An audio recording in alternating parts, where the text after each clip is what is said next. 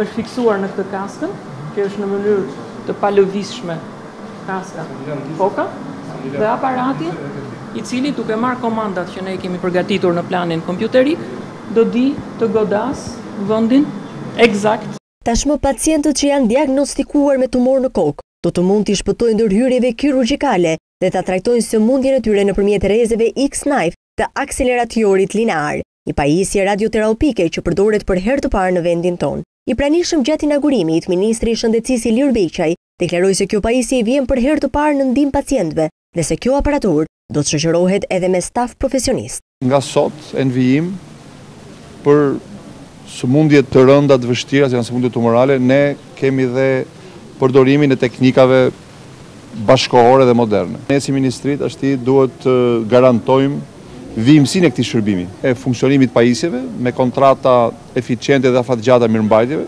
Ndërsa shefi i shërbimit të neurokirurgjisë, Mentor Petrela, u shpreh se mjafton një goditje e kësaj aparature dhe të nesërmen pacienti del nga spitali. E rëndësishme është që po bëhet një investim shumë madhor për përmirësimin e strukturave të radioterapisë dhe në brenda këtij viti fillojnë ndërtimin e një strukture komplekse mjaft moderne radioterapie me dy akseleratorë linearë. Besoj që brenda një periudhe afatshkurtër do jemi në standardet më të mira ndërkombëtare për trajtimin e pacientëve tanë. Sipas mjekëve, kjo aparaturë përveç se është pozitive për organizmin e pacientëve, pasi edhe efektet anësore janë të papërfillshme, redukton edhe kostot, duke ulur kështu numrin e pacientëve që presin në dyert e QSUT-së për t'u trajtuar. Për akseleratorin linear të rrezeve X-Knife, që do të përdoret në shërbimin e neurokirurgjisë në QSUT, do të asistojnë për gati një vit së bashku me neurokirurgë shqiptarë edhe mjekë të njohur nga Spanja.